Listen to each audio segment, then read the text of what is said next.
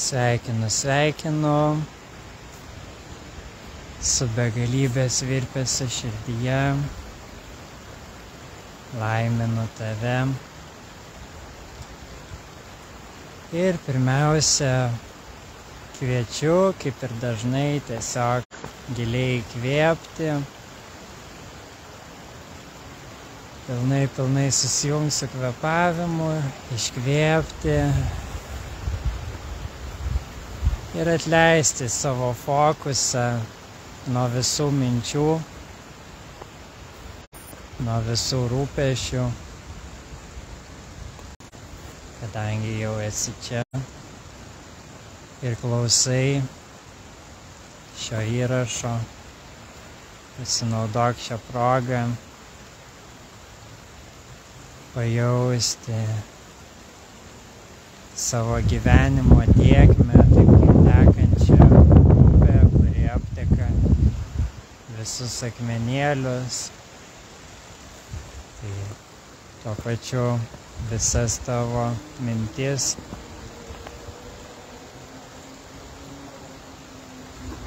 Pajaus tą palaimingą tarpą, kaip smagu iš tikrųjų yra nebūti paskendusių mintise.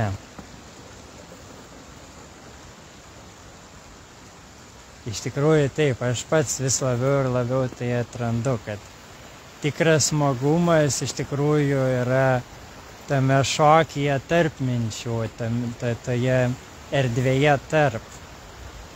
Nes kada jo mes per ilgai susifokusuojam į tam tikras mintis ir prie jų prisirišame, tai tada jo, tada vyksta stingimas, pasipriešinimas tai natūraliai gyvenimo tiekmei, tai tyrai laimiai, kurią tu gali iš tikrųjų jausti visada. Ir tos mintis, kurios yra aktualios, tie dalykai, kurie yra, yra aktualūs, jie natūraliai išriškėja ir tu vėlgi remianti savo giliausiai pajausta intuicija ir palaima, tada gali atlikti tai, ką tau reikia atlikti ir tekėti toliau. Tai iš tikrųjų, taip, aš per šį įrašą noriu priminti apie tai, kas iš ties yra ta tyra laimė, kurią tu gali jausti visada. Ir ši laimė nėra pririšta prie jokių minčių, jokių aplinkybių. Šita laimė yra visiškai laisva. Tai yra tai, kas tu esi. Ir vėlgi tu tai gali pajausti, leidus savo fokusą nuo visų minčių. Ir tuomet, kadangi tu vis tiek jungiesi su mintimis, tu jungiesi su šituo gyvenimo sapnu, tai tuomet laimė tame, tai yra tavo, tavo natūraliausias, tavo tikriausias santykis su tuo, kas pasireiškia šitame gyvenimo sapne. O, kaip gražiai. Su, sukinėjasi, čia tokie krenta, besisukantis gražus dalykai. tai taip. Tai reiškia, tai yra teisingas santykis, tai yra susiligiavimas su tavo giliausių sąžinės jausmų, kuris irgi nepriklauso kažkokiai saligotai tapatybei. Tai priklauso tau kaip beribėj esybei. Ir taip, ir, ir šitame fokuse, kada tu save patiri per šitą fizinį kūną, tai taip, tu kaip ta beribė esybė, kaip tas beribis intelektas, daug ko nesuvoki, daug ko nematai. Tačiau vis tiek yra tas vedantis jausmas, yra ta gili intuicija, yra tas gilus sąžinės jausmas, kuris visą laiką su tavim kiekvienoje situacijoje ir jisai visą laiką tave informuoja, koks yra tavo tikras santykis su tomis situacijomis. Tai pavyzdžiui, bet kaip tu gali jausti tą pastovę laimę bet kokiose situacijose. Tai vad paimkime bet kokią, bet kokias situacijas. Tarkim, tu jauti, tu aplinkui matai, kaip gyvena kiti žmonės, ne? Ir tarkim, ir tarkim, tu matai kitų žmonių sėkmę, tu, tu, tu matai kitų žmonių laimę. Ir, ir tu gali taip pat jausti, jog tai tavo laimė tai tavo sėkmė, tai atspindi tai, tai kas įmanoma ir tau, ir, ir taip, ir tai atspindi tą gerą būseną, kuri, kuri pamaitina tai tavyje, sužadina tas vibracijas ir tavyje. Ir galbūt taip, ir galbūt iškelia tam tikras vibracijas, kur, kurios jau tau nebepriklauso, ne, tai, tai tą visą pavydą, kažkokį pyktį, savęs teisimą ir taip toliau. Ir tu gali būti laimingas ir dėl to, kad šitie dalykai iškyla, nes tada tu juos pastebi ir, ir taip, ir tu gali juos transformuoti į, į tas pozityves vibracijas. Ir jeigu tu matai, jeigu tu, tarkim, pats geriau jautiesi, bet aplink tave, tarkim, kiti žmonės jaučiasi prašiau, tai tu taip pat gali, tau nebūtina nuleisti savo vibracijas, tu vis tiek gali būti laimingas tuo, jog tu gali tuos žmonės palaiminti su savo laime. Tu gali tiem žmonėm pasitarnauti vėlgi pagal tai, kaip tave veda tavo intuicija. Tai štai visose visose situacijose tu gali jaustis laimingai. Jeigu, jeigu tiesiog renkiesi tą santyki, kuris tau jaučiasi geriausiai. Jo, kiekvienoje situacijoje yra pasirinkimas, kaip tą situaciją priimtų. Ir jeigu tu būtent sėki ne, savo, savo giliausių intuicijos, palaimos, jausmo, tada taip. Tu atrasi tą laimingą santyki su viskuo. Kad ir kas, kad ir kas be iškiltų. Ir taip, ir laimė visą laiką, visą laiką čia. Visą laiką, visą laiką čia. Net jeigu ir jautiesi liūdnas, net jeigu ir jauti skausmą, gali žinoti, jog taip, kažkas pasaulyje jaučia laimę, tuo metu kažkas jaučia malonumą. Ir tos vibracijos visą laiką čia. Ir jos pastoviai keičiasi, va tos būsenos, tos labiau santykinės būsenos, jos nuolat kinta. Dėl to aš ir noriu perduoti šitą žinutę, kad ta tikra laimė nepriklauso nuo tų kintamųjų tai yra tavo, tavo tikrasis santykis su tais visais kintamaisiais, kuris jaučiasi gerai. Tai net ir giliausiam skausme tu gali jį priimti su taika, su atjauta ir, ir taip ir su ta laime, kad tu gali išlaisvinti ir įvertinti, dar giliau įsišaknyti savo, savo esatyje, savo esybinėje ramybėje ir taip toliau.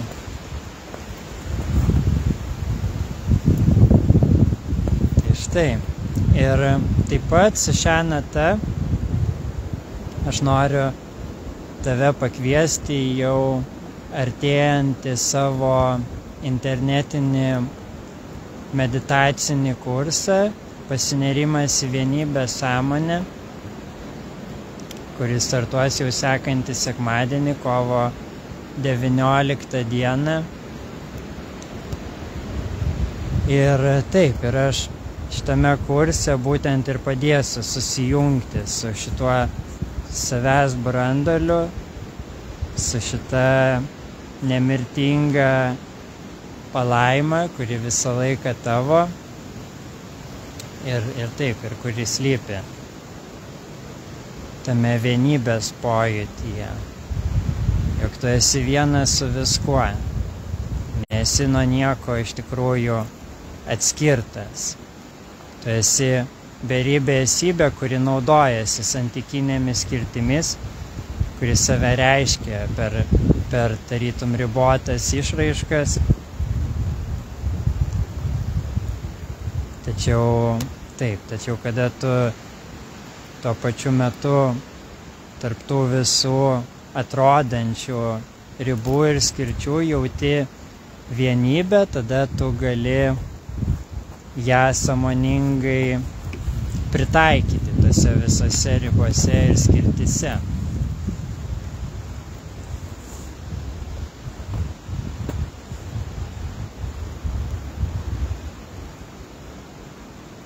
Taip tu gali įgalinti savo empatiją, tą intuityvę. Ir empatija irgi tai nėra tik tais, tik tais tai, kad tu patiri tam tikras patirtis ir pagal tai tik tais gali, gali suprasti kitus, bet iš tikrųjų, vat, kada tu susijungi su tą vienybę sąmonę, tu suvoki, jog tu esi visuma.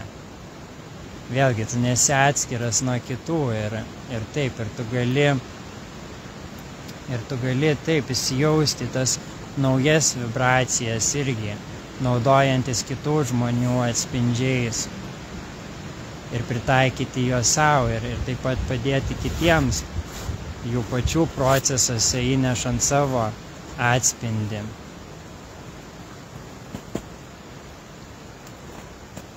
Tai štai.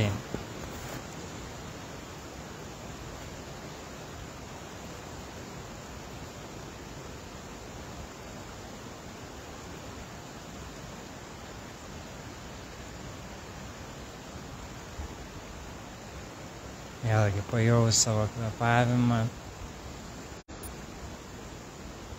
pajausk savo kūną, nes taip, iš tikrųjų ta giluminė sąžinė, ta giluminė intuicija tavęs kaip beribės esybės, kaip to aukštesniojo intelekto didžiąją dalim komunikuoja per tavo kūno pojūtį, per visą tavo kūno pojūtį. Tai yra vientisa, iš tikrųjų tai, tai turėtų jaustis vėlgi kaip vientisa visuma, va, tiek tavo tame pilvo jausme, tiek tavo širdies jausme, tiek tavo galvos jausme. Ne, tai, yra, va, skirti, tai yra tas pats vientisas protas, tik tai jis yra va, taip padalintas į vairius padalinius. Ir, um, ir taip, ir per šitą kursą mes glaudinsime tą ryšį per, per meditacijas, per vedamas meditacijas, per savityrą. Mes tiesiog glaudinsime tą ryšį su savim, kaip beribė esybė, kaip vientisa visuma. Ir tada taip, tada savaime, savaime, savaime tu pradedi geriau, akivaizdžiau jausti tą savo tyrą santyki su viskuo, kuris tau atneša pastovę laimę.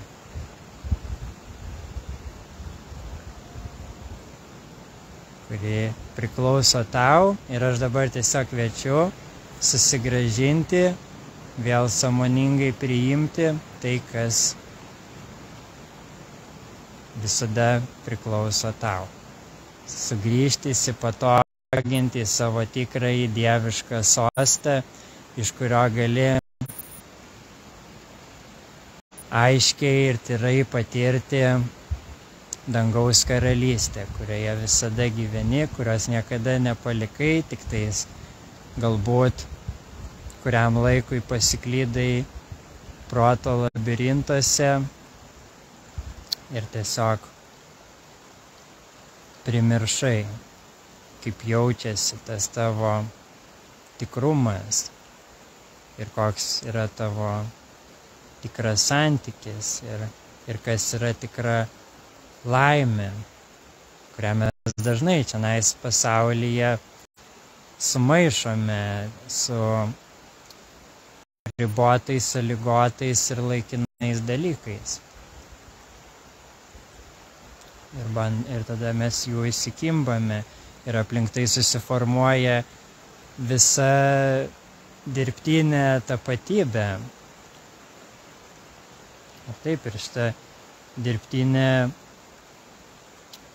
užmarštim ir melų grįsta tapatybė šitam pasaulyje buvo puoselėjama daug amžių. Todėl aš suprantu, kad kartais tai yra iššūkis nuo jos atitrūkti, nes tai tada atrodo dažnai kaip pasaulio pabaiga, kad tada tu, kad tada tu dar jausies nelaimingesnis, kad tu dar daugiau prarasi, jeigu va, tai, va, atleisi tą savo sukibimą su tuo gyvenimu, kurį gerai pažįsti.